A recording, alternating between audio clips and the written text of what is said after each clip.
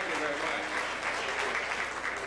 Now they're all mad at me because I tapped it off so fast, but uh, sometimes you just have to wring out your underwear, you know, every now and then. How about that uh, washboard and drum solo by Mr. Turner?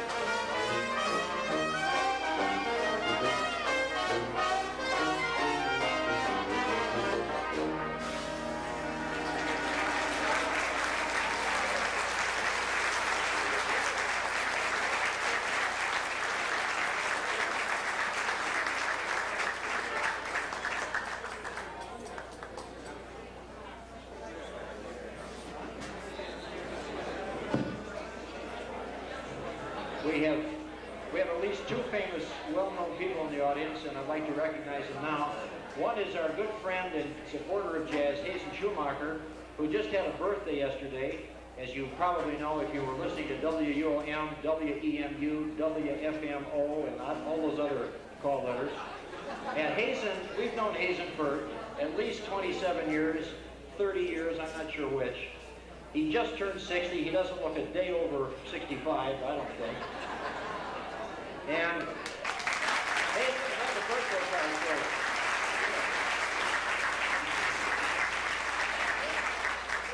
We have, a cake out here, which is a happy anniversary of the Blue Eagles. This is a band birthday card for Hazen. Come up here and see if they can hear. It plays a song. We got your, it says Hazen. And this says happy birthday. So hold it right up here and see if they can pick it up.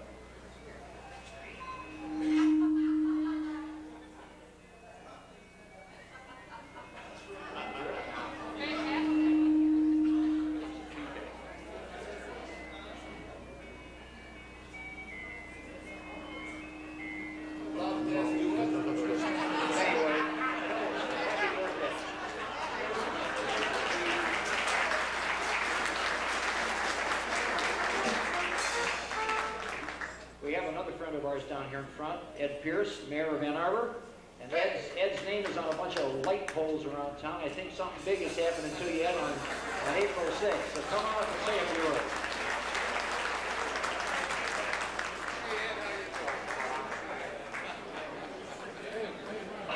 I, I, uh, I'm going to say something completely uh, non-political. Uh, I, I, uh, and I, I'm, I'm looking at all these wonderful faces, and I'm thinking, God, what a, what a terrific time this is. I mean, it's just, it's, it's just wonderful. These people, this group right here, gave my wife and I, and all of you, a whole lot of happiness.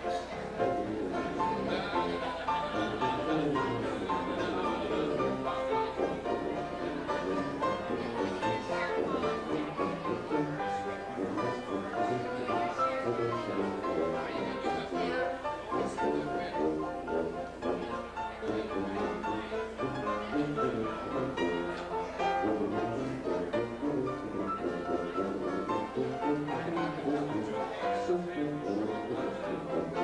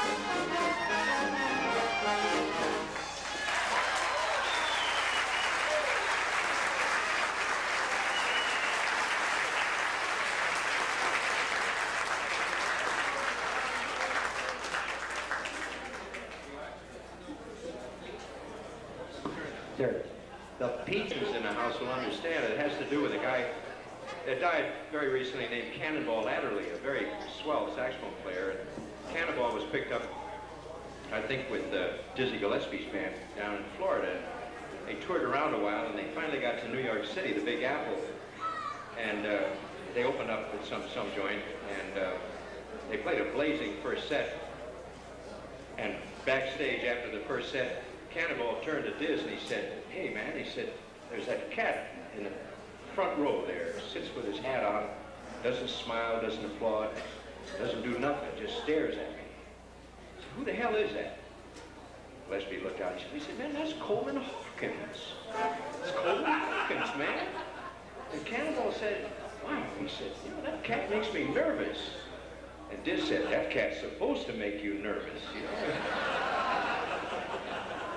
Uh, we're going to bring up Carey Price uh, to do a number two.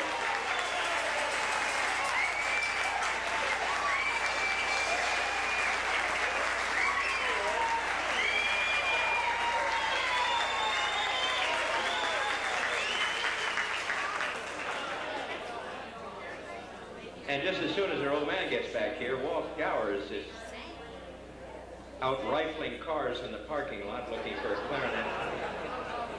There he is. He's coming. Here he comes.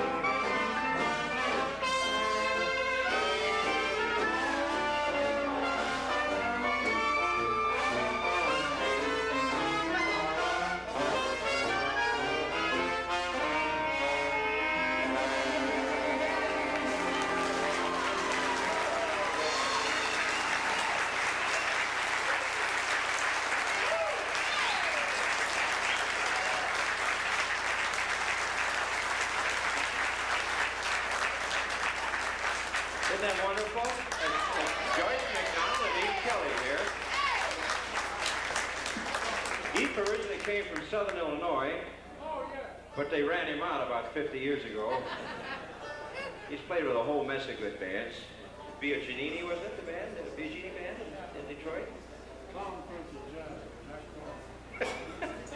we don't want to go into all that, Eve. Uh, let's keep your sex life out of it. Let's play some music here. Right?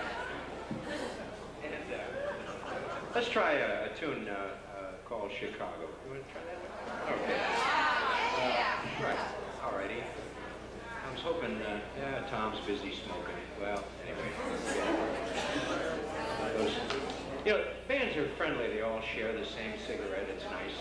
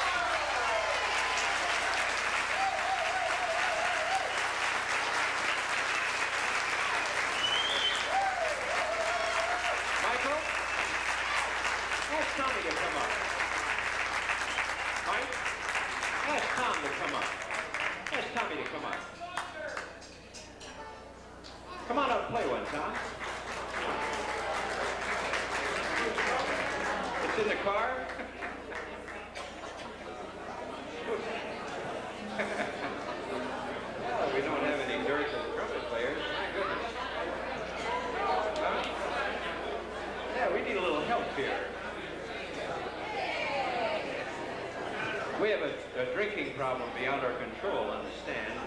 It's necessary to take short breaks.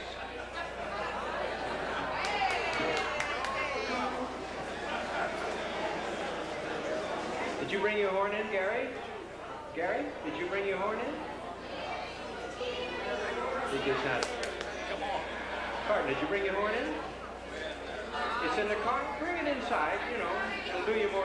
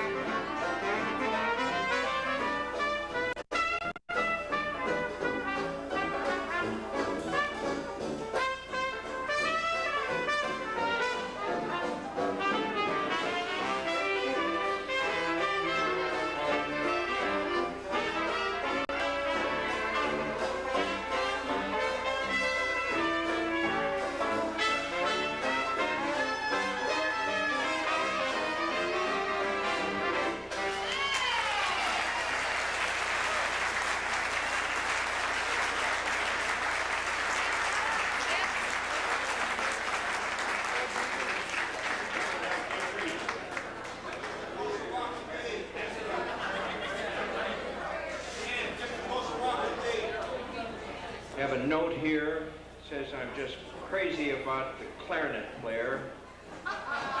Can he meet me in the parking lot right after the show and it's signed Ralph?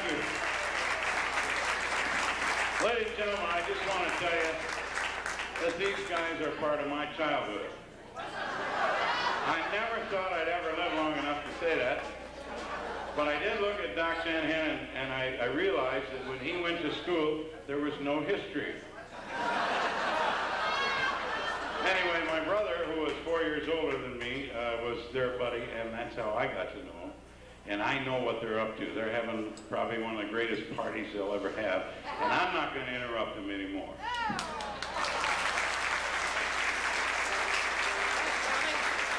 Ladies and gentlemen, we're going to take a little break now. I want to have a nice with Kelly, George McDonald, and my old pal Tommy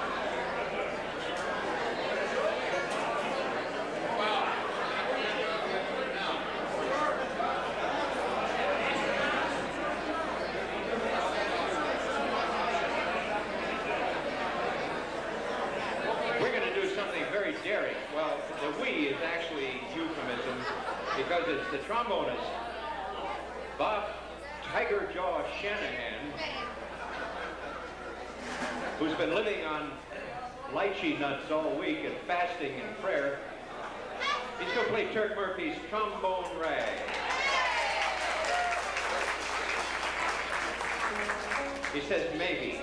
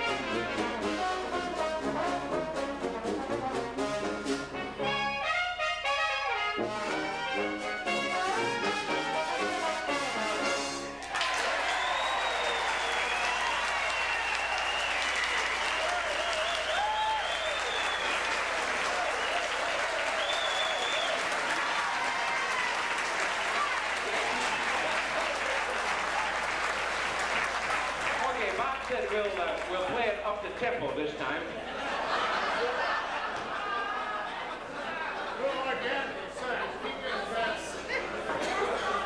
I don't know how these rascals remember how they go. I don't remember any of it. Okay. I'd like to sing you a song now, if I may. And uh, this is one you never heard me do in the old days, which is probably just as well. But since I've grown old and handsome, I get to, I don't get to play much, but I get to sing all the love songs. Obviously, it's because of my sexual charisma. So, yeah. Does it show?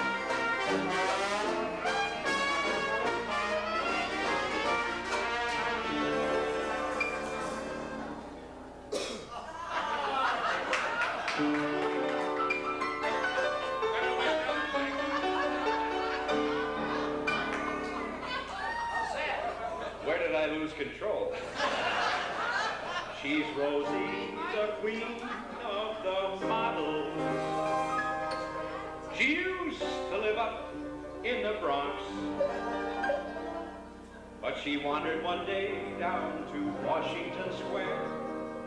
And those bohemian honky tonks. And there she met young Michael Schwimmer.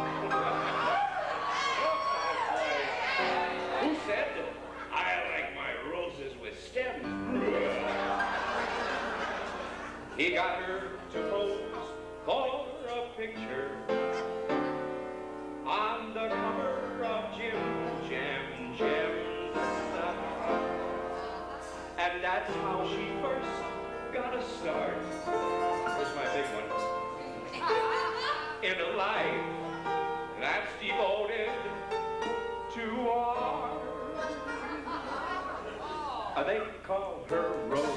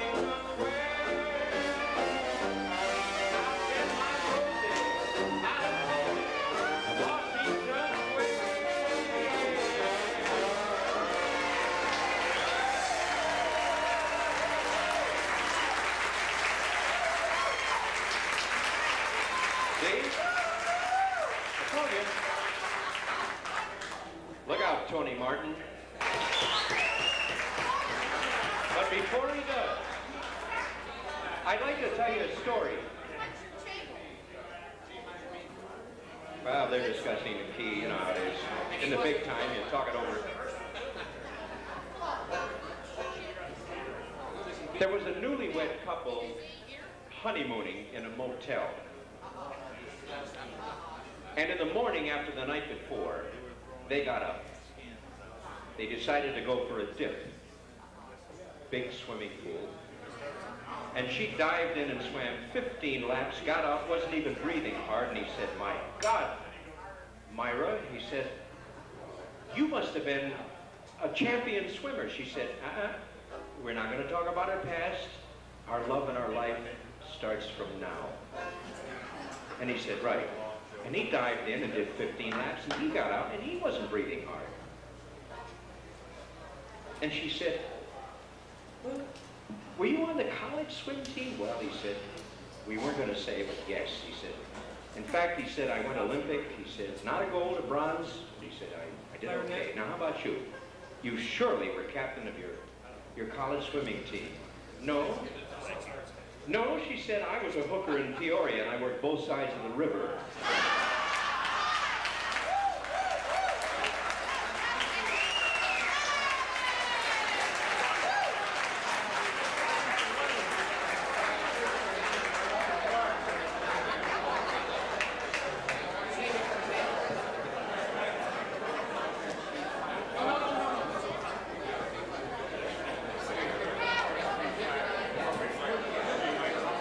Last night, we were in this hall about 8:30, working some tunes over. You may think this is totally unrehearsed, and it almost is, but we did try a few things out. Our wives were sitting right back where they're sitting now, because, you know, that's about as close as I wanted to get to the band, and they don't want to get any closer today. But we're in the middle of some complicated tune, and suddenly, as a body of one, they said, Peoria! So, I would like all our wives to stand up, and, and girlfriends and whatever. Sue Montgomery, Alice Teachout, Betty Remington, and Ruth,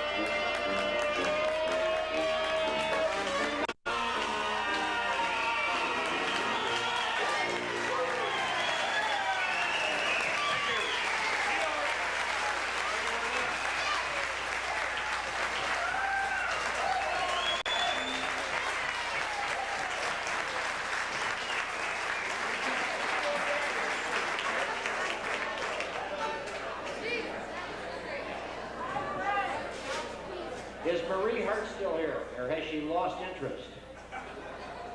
One of the things, one of the things that's important to, to remember as we, as we re- recreate what we were like 30 years ago, is that we keep on playing in our own localities and our own ways and getting whatever jobs we get. And a couple, three years ago, I had a chance to play the Ford Museum Great Escape Weekends.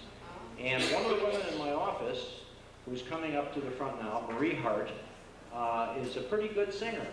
And uh, like most singers that come in contact with any of the Boll Weevils or the Ann Arbor Alley Cats, she's, she's a good-looking singer too. Anyway, nobody, nobody works with me unless they teach, I teach them my songs. So Marie